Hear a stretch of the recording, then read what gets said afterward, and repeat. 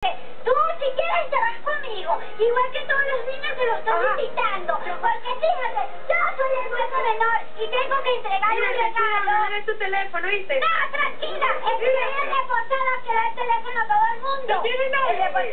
No, yo soy el hueso menor. Ah, mira, mira, mira, que hay un duende que no vino, que le queremos enviar saludos a este enfermito, es el de Héctor Machado.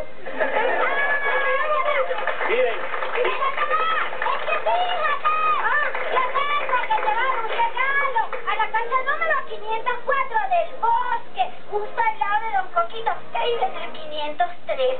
Entonces yo necesito que vayan todos a ayudarme a llevar ese regalo. Yo estoy en la sala de concierto, estamos allá, a las 3 de la tarde, sábado y domingo. Si quieres te vienes conmigo, sábado y domingo. Ayúdame, ayúdame, vamos, para que miren, te y también, nosotros también tenemos una cumpleañera a Duende Feliz.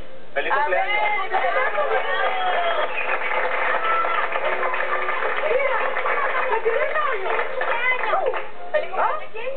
Valentina! ¡Feliz cumpleaños!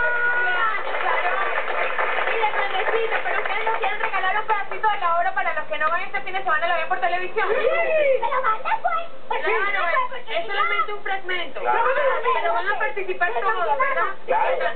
Rico también. ¿Y qué van a hacer ustedes sin ¿El él? duende granulón? ¿Se lo llevas también? Sí, pero ¿y ustedes qué van a hacer sin él? Si ustedes son bellas. Nosotros no. Un hombre que los protege. No te preocupes que no nos va a hacer nada de No, falta. no, no, miedo. ellas van a ser felices y yo también. ¡Ah!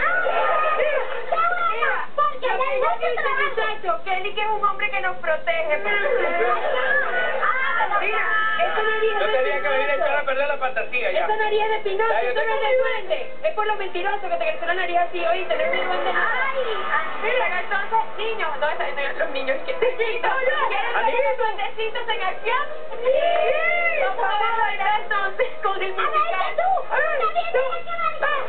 Tenemos duendes de Navidad, adelante muchachos. Un duende en Navidad.